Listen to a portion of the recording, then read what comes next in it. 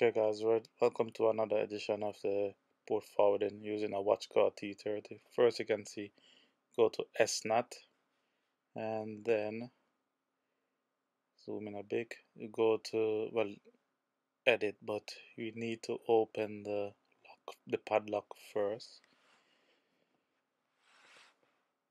And you go to add. And in here you can put a name whatever name you want, something memorable, so you can see it in the policy window. So remember on the left, firewall policies and S not is where you find the location. So I give it the name CCTV and the description SNAT to CCTV. So this means static NAT click add up here we have the IP address and the internal IP address in the members field.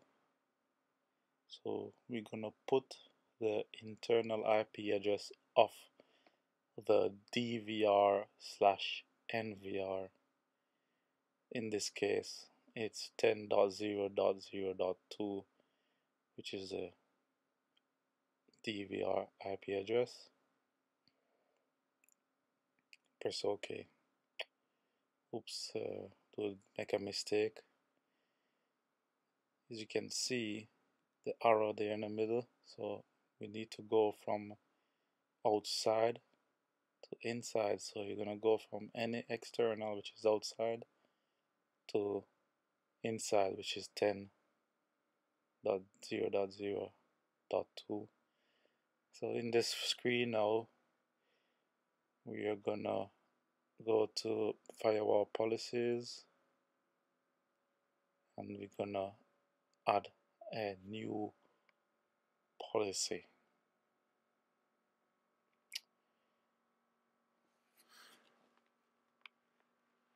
And go to custom then add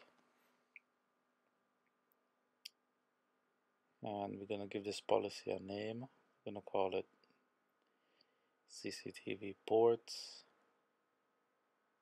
And click on to add.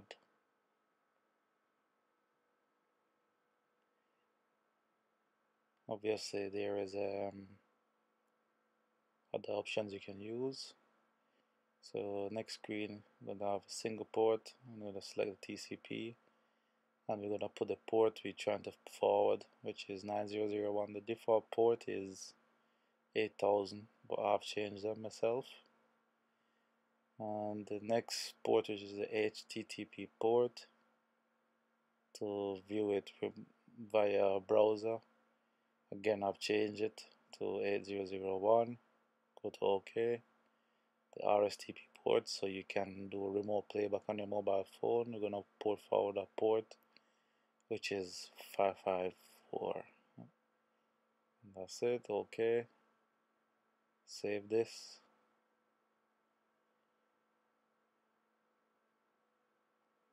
Saved. In this screen now we need to basically map ports through so we need to add the policy that we have just created.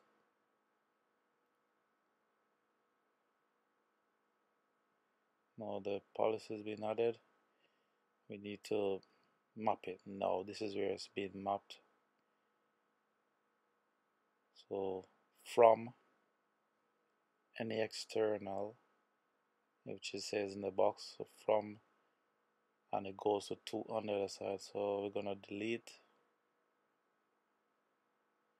the from field. So we remove this and then we add we want to add any external which is already there and then in the next field 2 and we need to send it the, all this traffic to the DVR so we remove this. Go to add. Find the SNAT static NAT and the CCTV which we already created that rule. And click add. Then save.